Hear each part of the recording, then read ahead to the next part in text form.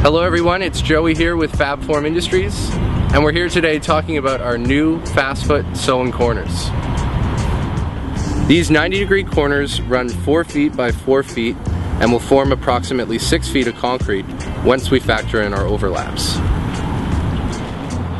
To install, unfold the Fastfoot corner and hammer tack in position using our footing width lines.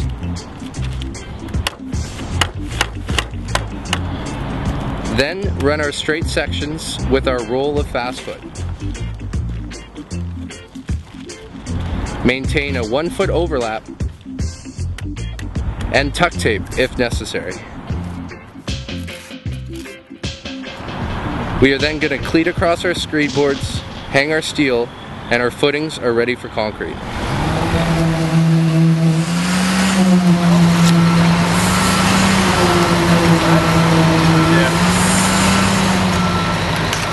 Long as, you know,